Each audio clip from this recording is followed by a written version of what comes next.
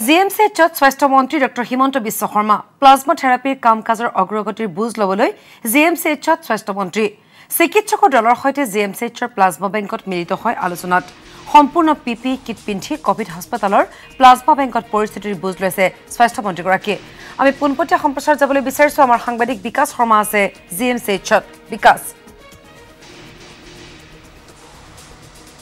মন্ত্ৰীশ্ৰী ৰাজ্যৰ লগতে মহানগৰীত দ্ৰুত হাৰত বৃদ্ধি পাইছে কভিড আক্ৰান্ত সংখ্যা আৰু কভিড আক্ৰান্ত সংখ্যা বৃদ্ধি পোৱাৰ লগে লগে তৎপৰ হৈছে ৰাজ্যৰ স্বাস্থ্যমন্ত্ৰী ডক্টৰ হিমন্ত বিশ্ব শৰ্মা আৰু কিছু সময় পূৰ্বে পূৰ্বে স্বাস্থ্যমন্ত্ৰী ডক্টৰ হিমন্ত বিশ্ব শৰ্মা প্লাজমা বেংকত তেখেতে আহি উপস্থিত হৈছে আৰু এই মুহূৰ্তত আমি পোৱা খবৰ অনুসৰি তেখেতে পি পি কিট পৰিধান কৰি তেখেতে আই চি ইউত প্ৰৱেশ কৰিছে আৰু যিসকল চিকিৎসাধীন হৈছে কভিড আক্ৰান্ত ৰোগী সেইসকল ৰোগীৰ লগত তেখেতে মত বিনিময় কৰিছে তেওঁলোকৰ স্বাস্থ্যৰ